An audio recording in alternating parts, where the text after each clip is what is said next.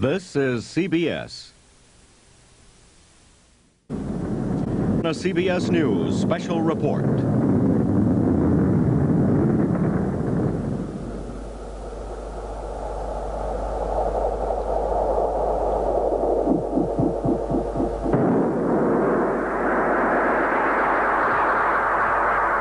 Wings in space, the first flight of the shuttle. Coming up on just two minutes away from launch. Minus. T minus two minutes, mark and counting. For launch. So. The liquid hydrogen vent valve has been closed and flight pressurization is underway. T minus one minute, 50 seconds and counting. We're configured for liftoff. Smooth sailing, baby. Thanks a lot, Chuck. You guys do super work. Chuck Hannon has just said Okay, we'll see you guys smooth sailing, baby, to astronauts John Young and Bob Crippen. T minus one minute, 35 seconds and counting. T minus one minute, 30 seconds mark.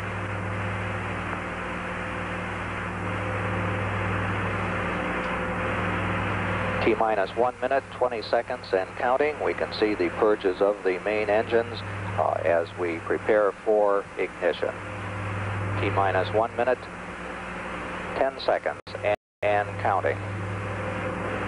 Liquid hydrogen tank is at flight pressure. Coming up on T minus one minute. T minus one minute, mark and counting. The firing system for the sound suppression water will be armed in just a couple seconds from now. It has been armed. T minus 45 seconds and counting. T minus 40 seconds and counting. The development flight instrumentation recorders are on. T minus 35 seconds. We're just a few seconds away from switching to the redundant set sequencer. T minus 27 seconds. We have gone for redundant set sequencer start. T minus 20 seconds and counting. T Minus 15. 14, 13, minus 10, 9, 8, 7, 6, 5, 4. We've gone for main engine start. We have main engine start.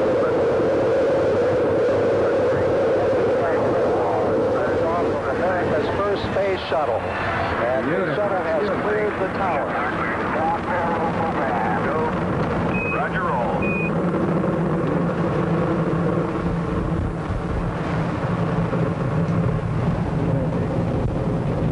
Program complete. Roger roll complete.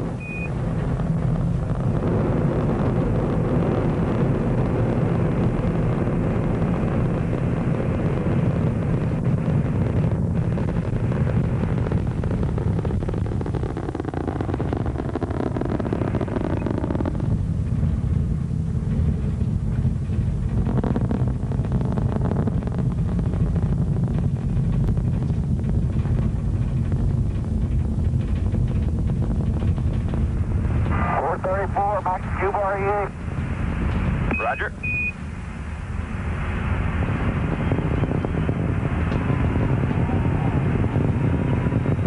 Right now, they're going through the time when they have maximum air pressure.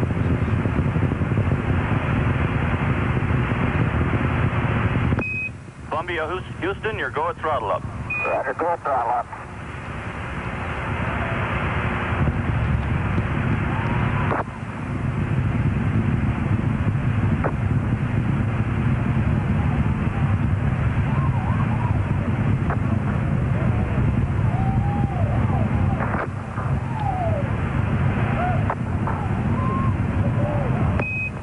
Roger, Columbia, on the nice ride. You're lofting a little bit. Uh, you'll probably be slightly high at staging.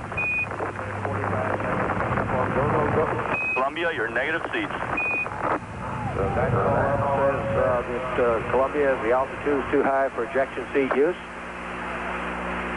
Columbia, your go for SRB SEP. Two minutes, four seconds, standing by for SRB SEP confirmation.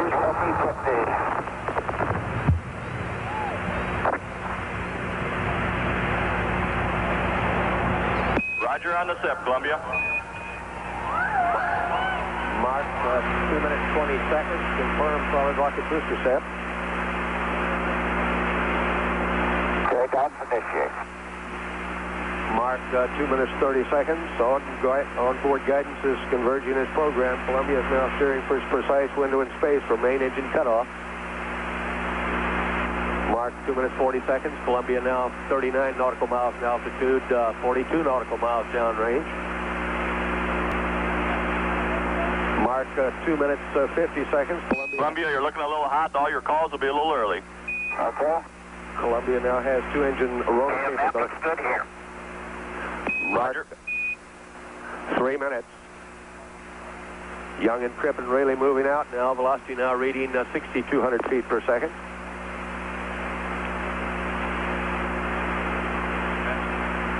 Mark, uh, 3 minutes 15 seconds. Columbia now 51 nautical miles in altitude, 66 nautical miles downrange. Velocity now reading 6,500 feet per second.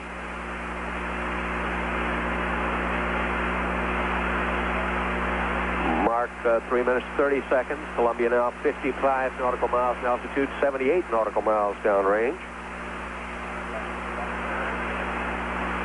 Mark, uh, 3 minutes 40 seconds. Uh, standing by for a return status check and mission control by Flight Director Neil Hutchinson. Columbia given a green to continue.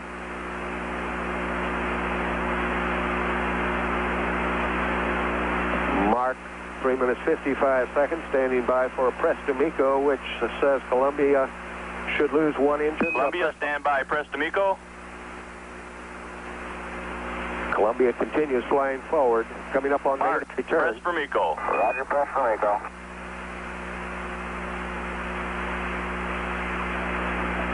Mark, uh, 4 minutes 8. Columbia, stand by for negative return.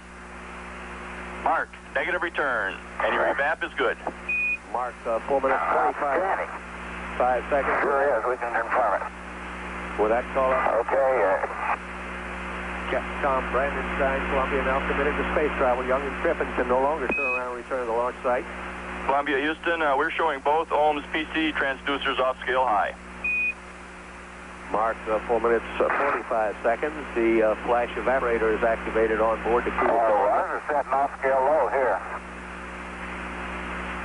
Roger, stand by. We'll keep an eye on it. Mark, 4 minutes 56 seconds. Columbia is lofting early in the second stage, is now being taken out of the trajectory as programmed. Columbia's main engine slowly being throttled back now. Should be throttled at 65% at 6 seconds before main engine cutoff. Status check in the control center. Columbia, Houston, your go at 8. Mark, 8 minutes, 4 Roger, seconds. Tim, looking good. Columbia now 63 nautical miles in altitude, 606 nautical miles downrange. Mark 8 minutes 15 seconds. Columbia now 63 nautical miles in altitude, 650 nautical miles downrange. Standing by now for main engine cutoff.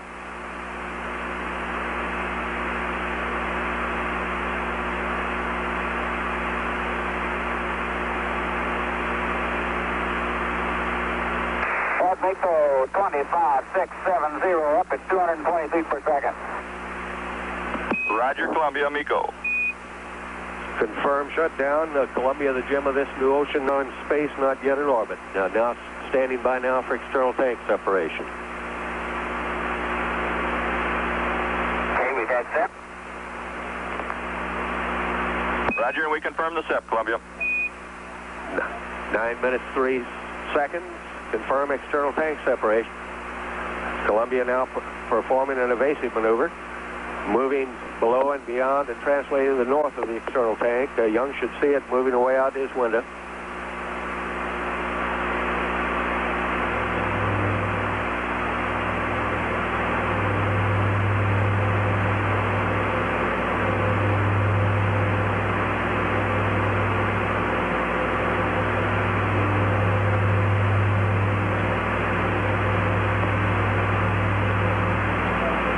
Nine minutes, 40 seconds. Go, no go status check and mission control for the first OMS burn.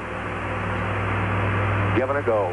And the solid Columbia, rocket booster Houston, should your have splashed down by now. 1. And for APU, Be shut down retrieved in the Atlantic Ocean for use on another day. The external tank will not be used again. Uh, it'll be destroyed and uh, now will land over the Indian Ocean. One burn attitude.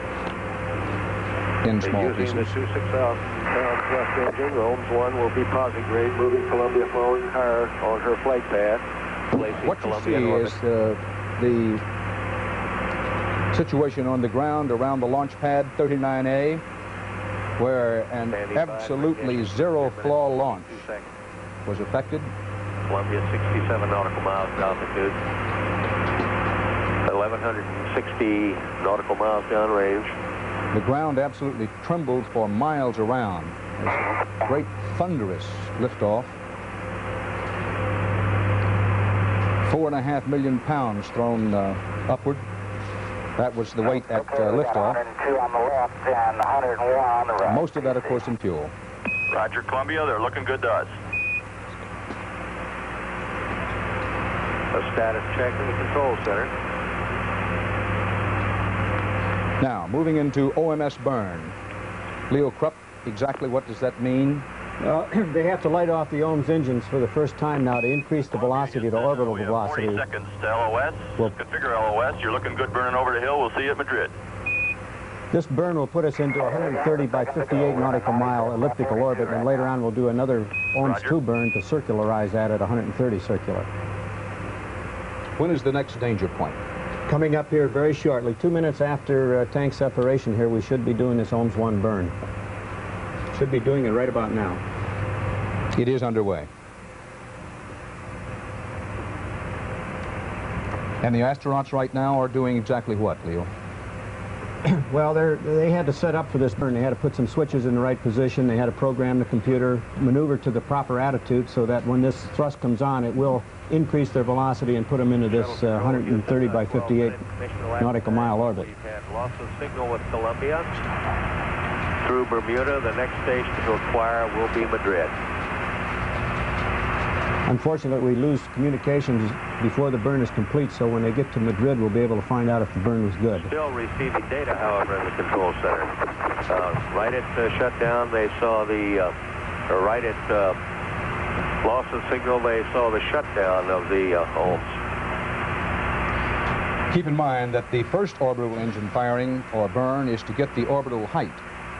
And the second orbital engine firing is to make the orbit circular. And the crew will leave their seats for the first time as the first orbit is completed. That would be about an hour and 15 minutes into the flight.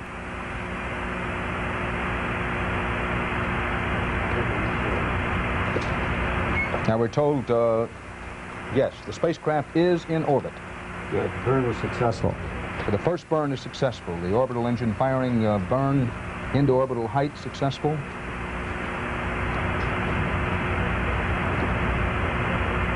Absolutely flawless launch into orbit. I could say that probably Bob and Crippen are so excited now they just can't hardly stand it. They even made the comment during launch that the view was great out those windows. As the spacecraft uh, reaches into orbit and uh, prepares for uh, to make its first uh, circular orbit of the Earth, we'll say that our CBS News coverage of the flight, and we can now say flight of spacecraft Columbia, will continue after this pause for station identification. This is CBS.